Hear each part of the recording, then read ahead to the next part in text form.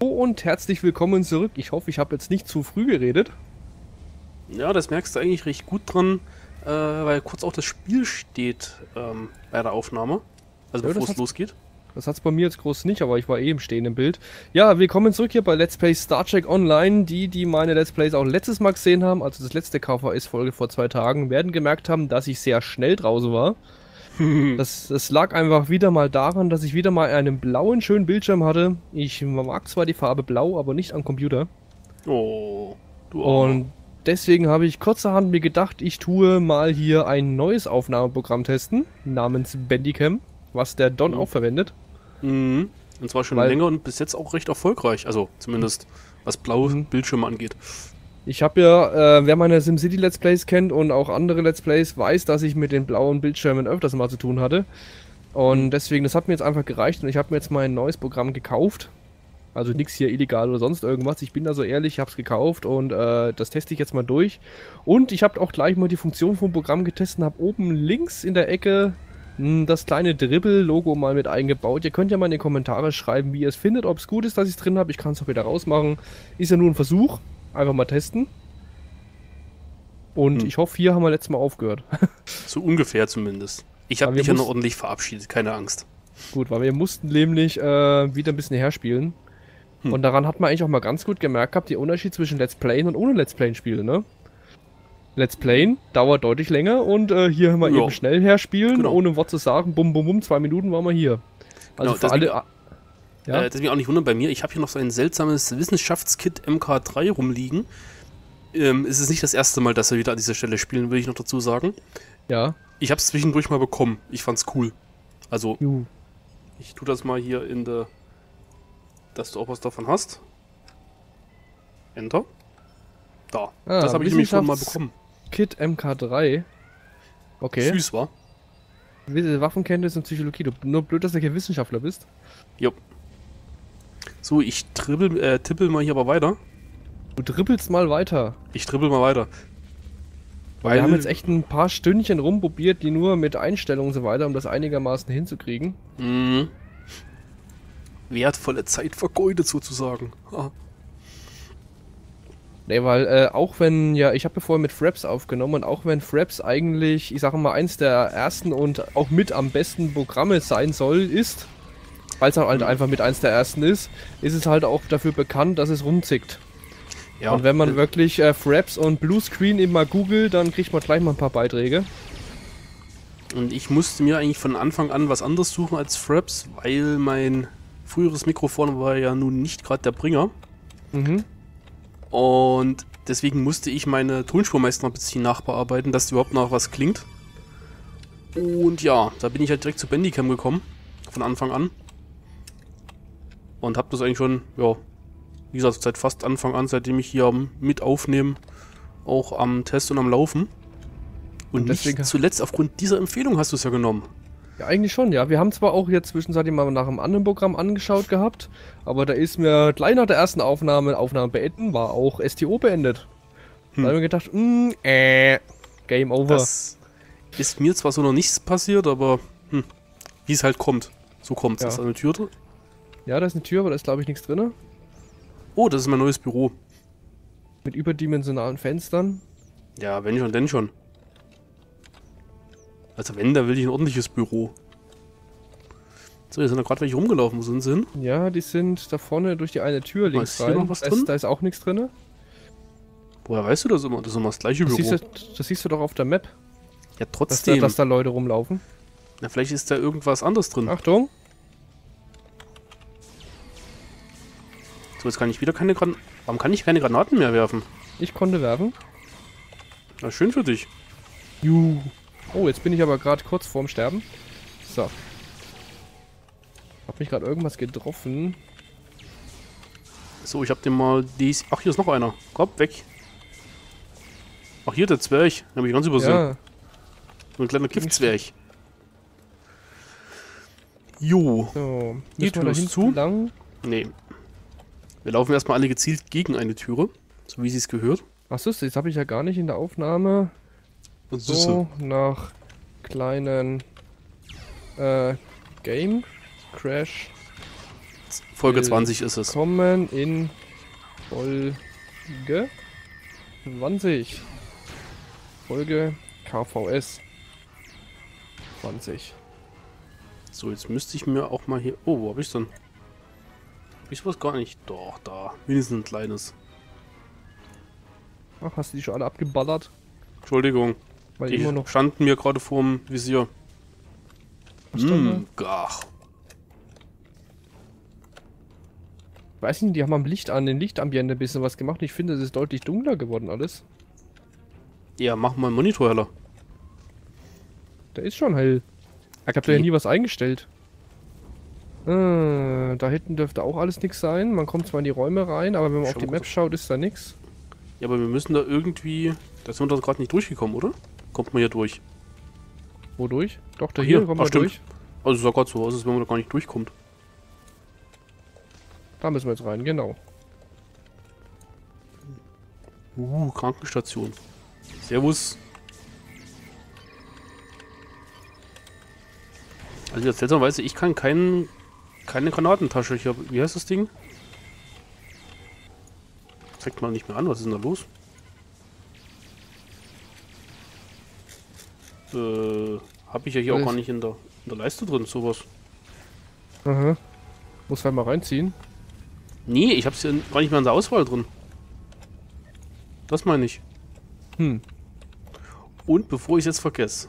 Moment, Oh. Optionen. Grafik. Äh, wo war's denn drin? Blumenidentität. Die Blumen tun wir mal ein bisschen runter. Ist, das muss ich auch mal gucken. Was habe ich noch mal genau eingestellt? Das ist ja alles seit äh, Staffel 9 ein bisschen anders. Grafik. Blumen habe ich jetzt mal- komplett aus. Ich hab's mal auf wenigstens 60 runtergestellt. Und ich leite mal die Energie schnell um. Was? Blumen auf, auf 60 runtergestellt? Wo kannst du das noch manuell einstellen? Äh, Bei der, bei der Grafik kann ich nur Blumen aus, Nee, bei erweitert. machen. Bei erweitert. Ah, Blumenintensität. Ich tue es aber noch ein bisschen weiter runter. Einstellen So. der Charakter, Einstellung, was? Einstellung in der Charaktereinstellung erhöhen, was? Aber jetzt kommt ja schon wieder Äh. so, ein- so ein blödes Fenster. Ich glaube, es ist. Welttexturdetails, Charaktertexturdetails, machen wir Warte hoch. mal, warte mal ganz kurz. Bildratenstabilisierung, hier mal an. So. Sehr schön. Das war, glaube ich, auch die erste, erste Mal, dass ich die Pause-Funktion von Bandicam benutzt habe. Uh, Weil da ist mir gerade so ein Fensterchen im Vordergrund aufgeploppt. Und hätte ich das angeklickt, wäre die Aufnahme kurz beendet gewesen. ah, beendet sich die Aufnahme von STO, wenn du rausklickst? Äh, bei mir ja. Ich weiß nur nicht, ob ich eine Einstellung übersehen habe. Ähm, gut, ich habe es noch nicht getestet, aber gut, dass es so sagst, damit ich es nicht teste, weil bei Fraps ging das immer. Ja, also geht ja aus. Deswegen habe ich jetzt gerade auf Pause gedrückt und dann konnte ich raus. Ah, aber du musst auf Pause drücken. Jetzt ja. Gut, ich will das jetzt nicht testen, das mache ich dann nach der, dieser Folge mal. Mhm. Aber Gut, dass ich es gesagt habe. So, jetzt, Ja, ich, leite, ich leite hier mal um. Ich Weil leite. Weil das Einzige, was bei Fraps mal passiert ist, ist, dass der Ton von dem Spiel selber kurz weg war. Und Hm. äh, ein bisschen dunkler wurde, aber das Spiel selber wurde noch aufgenommen. Hat er mir jetzt gerade ins Auge gefasst? Alter, Was, ins nimm deine Auge? Griffeln bei mir aus dem... F Was, ich bei dir? Nein, mein Char greift mir hier gerade ins Auge. Voll in so. die Linse. Ja, Guckst ihn von vorne an. ja, und ab und zu fingert er da voll drin rum. Wie lange brauchst du, So. um das Ding umzuleiten da hier? Äh, achso, Energieübertragung erfolgreich, Captain. Der Turbolift ist aktiv und soll uns direkt auf die Brücke befördern. Erreichen Sie die Brücke der USS DeWitt. Ich muss dann noch auf äh, einen Text vorlesen und weiterklicken. Dann geht's mal weiter. Weiter, weiter, auf Leiter. Ui. Ja, reim dich oder ich fress dir. Kann noch mal kurz den Korgan unten schreiben. Ja, teste ein neues Aufnahmeprogramm. So. Ein bisschen hier unten im Chat ein bisschen antworten. Genau. Äh, nicht da lang? Nö, Ach. hier in, zum Turbolift müssen wir. Hm. Oh, seit wann hat der Turbolift äh, LKs-Konsolen? Why not? Servus. Und, und gleich wieder Krieg hier. Ich habe gar nicht erst gefragt. Eben, ich auch nicht. Ich habe gedacht, du schießt. Naja, wird schon Grund haben. Ich schieß mal mit.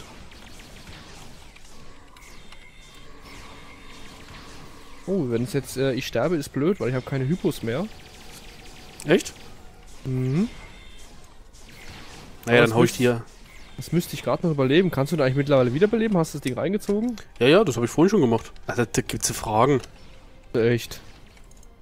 Mal ein bisschen Loot einsammeln, vielleicht ist ein Hypo dabei. Ja, brauchst du eins. Ja, einen Heinz habe ich gerade bekommen. Warte mal. So. Mir mal schnell ausstatten. Also, ich finde das ein Mhm. bisschen übertrieben, das Rote auf den LKs da im Hintergrund. Ja. Obwohl ja in den Filmen das ja auch mal so war. Bei Defiant hat man es hauptsächlich gesehen, wenn roter Alarm war, wurden die LKs rot. Ja, aber so rot, also das finde ich ja, das siehst ja gar nichts mehr. So, du sitzt. Ja, das ganze Ding ist ja hier kaputt. Was soll Das denn ist, das? mit, das ist mit einer der Brücken, die mir überhaupt nicht gefällt. Ja, vor allem, weil das da oben so abgehackt aussieht, hm? Ne, das weniger, die ist einfach nur so extrem überdimensioniert. Ja, man braucht halt Also ein, Platz. bi- ein bisschen kleiner, also wirklich hier diese Ich Sitzreihe, dann die Stelle und die hier weggelassen, das wäre, hätte schon mal was getan. Ich habe mir über, über Ostern mal die äh, alten Star Trek-Folgen, Kirk, äh, äh, Staffel 1 angeschaut. Die Brücke ist ja kl äh, knuffig klein. Die STO, äh, die, die TOS-Brücke. Nein, die in, in der Serie tatsächlich. Das ist ja, Ja, direkt ja. Eine, eine Hutschachtel, wenn du dann mit der TNG vergleichst. Ja, ja, das ist schon himmelweiter Unterschied. Ähm, wollen wir da reingehen? Ja, müssen wir ja. Achso. Du. Ja, genau, erstmal schießen. Ist Genau, klar. kennst du es doch. Sammeln die Secur Security Codes ein. Sie können nicht haben, was sie können sie nicht haben. Und sie brauchen erst gar nicht versuchen, meine Crew zu fragen. Ich habe alle. Was? Oh, der Olli ist wieder da. Hallo Olli. Hi, Kommt ja gerade richtig, wenn ich ja gerade voll hier mit Stimmenbrechung hier spreche. So. Ich habe alle Sprechsteuerungen des Sternenflottenpersonals blockiert. Ich würde dieses Schiff eher zerstören, als es ihnen zu überlassen. Hm. Gut, schießen wir halt nochmal ein bisschen. Übrigens, wer sich gerade wundert, wir sind ja wieder noch auf unserem äh, TS-Aufnahmestudio. Deswegen habe ich gerade den Olli begrüßt. So, Hm. sammeln Sie die Codes ein.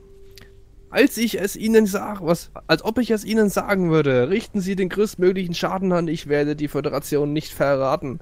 Das wollen wir doch mal sehen. Alter, gehen die ab wie ein Zäpfchen. Ich weiß es nicht, das sind Informationen, die nur das Sternflottenkommando hat. Bitte lassen Sie meine Crew gehen, ich übernehme die volle Verantwortung. Das sind typische klingonische äh, Verhandlungstaktiken hier, ne? Mhm. Ich kann nicht, ich werde nicht. So. Es ist Ein- genug, genug, ich ergebe mich. Weichei. Ich gebe Ihnen die Codes, die Sie benötigen, um an den Verte äh, Verteidigungskräften der Föderation im Sol-System vorbeizukommen. Doch Sie werden schon von vor dem ersten Außenposten tot sein. Sie sind verrückt, wenn Sie glauben, Sie können die Erde angreifen, schon bevor Sie die Warp-Geschwindigkeit verlassen, werden die Phaserbänke eines jeden Schiffes der gesamten Föderation auf Sie zielen. Ja genau, Wir auch die, die, getarnt. auch natürlich alle Schiffe, die in irgendwelchen Sektoren so 40 Millionen Lichtjahre weit weg sind, zielen dann auf diese Klingonen. Wir tarnen uns einfach. Haha. Genau. Sollen wir zum Schiff zurückkehren, Captain? Gerade mal, können wir die jetzt töten? Äh, ja. Und Gut. zwar, oh, grüner Loot. Phaser Druckpistole, danke. Oh, So, hab ich äh, bekommen. Warten, bis der rote Alarm weg ist. Warte mal, wie, wie schaut denn die aus? Ach nee, oder. Ah, ich schau mal, ob ich die verkaufen kann. Auf der Schiff. Ist das eine 2 oder 3? Was? Eine Dreier. Ähm, dann. Oh, was habe ich denn da? Technisches Kit MK3. Hm? Ach gut, ich habe auch ein technisches Kit. Ach, die Symbole sehen anders aus, deswegen. Angriffs. Angriffskit-Modul Plasmagranate. MK3, okay. Ist das jetzt hier. Alter, das ist ein normales Kit. Was ist, dann könnte man das mal gleich. Das, ach, das machen wir draußen. Beamen wir erstmal raus. Jetzt glaube ich erstmal noch, noch ein paar Waffen, die ich hier noch rumliegen habe. Wie, was? Wo? Rausbeamen? Erstmal das rausbeamen. Okay. Akzeptieren. Was sagen denn eigentlich die Zuschauer zu unserer neuen Optik? Ja, das Kommentare schreiben, in welcher Optik. Mhm. Ja, jetzt muss ich aber trotzdem mal fragen, welche Optik genau meinst du? Na, Erstmal kurz vorlesen. Charaktere. Die DeWitt ist zu stark beschädigt, um noch für das Reich zu gebrauchen zu sein, Lieutenant Commander. Ich empfehle, wir führen einige Zielübungen durch. Ja, das klingt doch mal gut. Wo ist er denn da? Naja. Ja, get haben getroffen. so, danke. Klasse. Konterzieren Sie die Champok. Oh, ich Was? kann, Doffs, ich kann Doffs abgeben. Äh. So. Ach hier. Wir sollten Jumbo kontaktieren, um ihm mitzuteilen, dass wir von Captain Hollingsworth die Sicherheitscodes des Sol-Systems erhalten haben, damit wir die Erlaubnis bekommen, sie zu gebrauchen, Sir. Rufe Kronos und leite es jetzt auf den Schirm. Ganz kurz, wo waren das nochmal, dass man nicht mehr weiterfliegt, beim, äh, wenn ein Dialog aufgeht? Achso, äh, Optionen. Puh, Steuerung. Ach, bei Kontaktdialogen weiter bewegen, an. Genau. So, weil ich bin hier gerade ein bisschen, wo bist denn du da oben? Kommando zentral, ich musste auch selber mal ganz kurz hier auf den Bildschirm legen, okay. Jetzt? Sie sind ein mutiger Krieger, wenn Sie sogar einen Frontalangriff auf das Sol-System vorschlagen. Ich weiß zwar, dass Sie vor allem den Ruhm wollen, der mit einem Angriff auf die Erde einhergeht, aber ich denke, dass Sie sich für was? Dass Sie für sich wie auch für das Reich größeren Erfolg finden werden, wenn Sie stattdessen das wichtigste Schiffsbauwerk der Föderation auf Mars angreifen. Die Ich Utopia Planitia Schiffswerften. Ich muss aber auch sagen, das ist ein bisschen schwieriger vorzulesen, wenn man weiß, dass Gäste im Teamspeak zuhören, ne? Nö, Nicht? Finde ich schon. Nö. Das Problem ist nur, dass es meine Augen langsam übergehen. Deswegen, und die Schriftart habe ich ein bisschen kleiner, wie Standard. Deswegen. Die dritte Flotte der Föderation ist auf Utopia Planitia stationiert, dem wichtigsten Schiffsreparaturdock und gleichzeitig der wichtigsten Werft der Föderation. Wenn wir sie dort empfindlich treffen können, wird es die Sternflotte erheblich schwerer haben, ihre beschädigten Schiffe wieder instand zu setzen. Ein Schlag gegen diese Einrichtung wird die Kampfstärke der Sternflotte merklich mindern. Nehmen Sie ruhig jeden mit, der bereit ist, an Ihrem Plan teilzuhaben. Ich freue mich darauf, eine großartige Geschichte von Sieg und Ehre zu hören. Ja, ja. Serve the. Danke. Dienen Sie dem Reich gut. Gobbler! So, ich docke jetzt mal an der Station an. Oh. Geradeaus. Die Föderation greift unsere Streitkräfte im Alena-System an. Dies ist eine Raumregion, die wir in einem ehrenwerten Gefecht erobert haben und ich beabsichtige sie auch in Zukunft für das Reich zu beanspruchen. Helfen Sie, unsere Station zu verteidigen und versetzen Sie der Föderation... Das haben wir doch schon mal den Text. Ja, eigentlich schon. So. Ich habe mal, ich mal weiter geklickt. Lieutenant Commander, die Truppen, die hier in Alena stationiert sind, haben sich als bewundernswerte Krieger an, ausgewiesen. Wir sollten in Betracht ziehen, sie zu rekrutieren, damit sie uns beim unserem Angriff gegen Utopia Planetia unterstützen. Nähern Sie sich der Sternbasis und rekrutieren Sie die Plünderer. Es wäre uns eine Ehre, erneut an ihrer Seite zu kämpfen. Diese Föderationstags werden an den Tag bereuen, an den sie unser System kamen und den Klingonischen Reich den Kampf ansagten. Wir können diesen Ort auf ihren Befehl verlassen. Hekluch Mech Gach. Schaffle, Schaffelim. Das erinnert mich irgendwie an unseren Geburtstagsgesang. Mm, Warpen Sie zum die Mars. anderen Schiffe stellen sich an unserer Flanke auf und sind bereit, uns zum Mars zu folgen, Sir. Lassen Aber warte. Noch nicht fliegen. noch nicht fliegen. Noch nicht fliegen, weil jetzt sonst sind wir gleich im Mars-System, da geht's weiter. Ich wollte mir das Kit jetzt mal anschauen, was ich da bekommen Ach so. habe. Das ist mir dieses Jetzt neue, nicht. dieses neue Kit-System. Du bist ja nur das, das Kit zum Anlegen ge- bekommen, oder? Hast du ein ich, ha bekommen? ich, ich habe. Halt. Na komm. Ich habe das hier bekommen. Und dazu noch das hier bekommen. ah, okay. Aber wohl, das geht ja gar nicht. Das ist ein technisches Kit. Das kann ich sowieso nicht nehmen. Ja, es kommt drauf an. Also, soweit ich weiß, haben die Kits verschiedene Eigenschaften, von wegen äh, sogar Universalplätze und so weiter, wo du halt alles reinpacken kannst. Nee, ich sehe gerade schon, wenn ich es versuche bei mir, also mein Charaktermenü aufmache dazu, dann. Mhm. Äh. Was hast du jetzt gemacht? Äh, Cryptic has error. Hm. Also ich würde sagen, ich beende jetzt einfach mal die Folge an dieser Stelle und sage vielen Dank fürs Zusehen und bis bald. Tschüss. Willst du auch noch was sagen? Äh, nö. Schnauze voll. Gut. Tschüss. So, tschüss.